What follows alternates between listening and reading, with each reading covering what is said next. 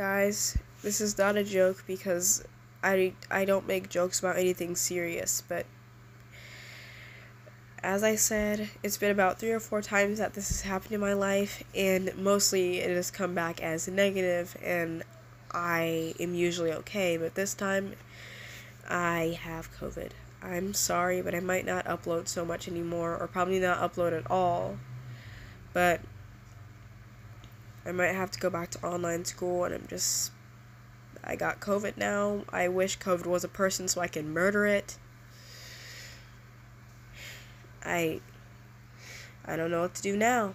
I just find life hopeless and not worth living anymore. Don't worry, I'll try and keep away from the negative side, but there's no point of being on the positive side because I have COVID and COVID kills you. So if I die, just know that I love you all and everything and everyone, or at least some people, and uh, have a nice life. Stay safe out there. Don't end up like me, okay?